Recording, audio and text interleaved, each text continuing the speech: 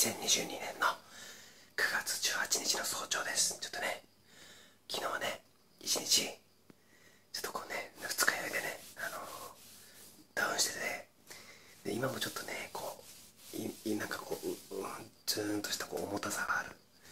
日本酒とビールのねちゃんぽんがねこんなに破壊力あるとはね、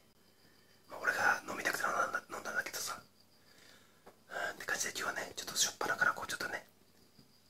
苦手な人には苦手な映像だったと思いますけどごめんなさいでもなんかちょっと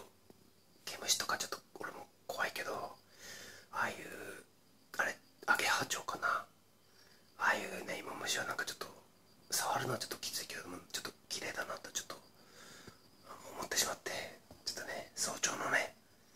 早朝のなんかこうそういうね雰囲気と相まってなんかちょっと動画撮りたかったねうんあんであれだあのアマゾンアマゾンギフトのなんか品物が届いてたみたいでごめんなさいなんか俺昨日の時点でアマゾンの欲しいものリストでこうあの教えて教えてもらったその購入済みっていう表示表示の部分で購入済みって設定してそれでこう見たらその品物が何も表示されてなかったからまだね俺に対して買ってくれて買ってくれた人はまだいないいないのかなって勘違いしてちょっとごめんなさいちょっとそこまああんまそそれだけでちょっとあれなんだけどでも実際にもう買ってくれた人いたんだね。本当にありがとうございます。なんかまあよかったどうなんだろうなんなんかニックネームでもねこうあのもし使ってことは何々さんからいただきまして何々ですっていう商品紹介させてもらいたいなと思うけどどうなんだろう。あれかなあんまり名前とか言わないのかね。ただこういう品物もらいましたっていう紹介だけにした方がいいのかな。もしねニックネームあの名前とかあの紹介してほしいという人いたらまあそのえっとこの動画この動画でこの動画のコメント欄に教えてくださいはい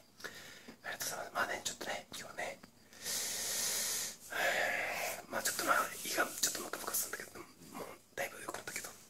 今日またね日中ね、えー、友人の家に掃除掃除片付けあのガラクタ処分手伝いに行くんでね。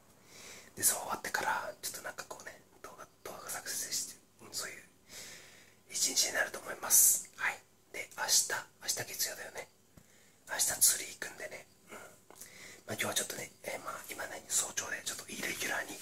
動画投稿しました。うん。今日はね今日夜9時にまあいつも通り動画投稿しますねはい。たまにこうやってねイレギュラーで動画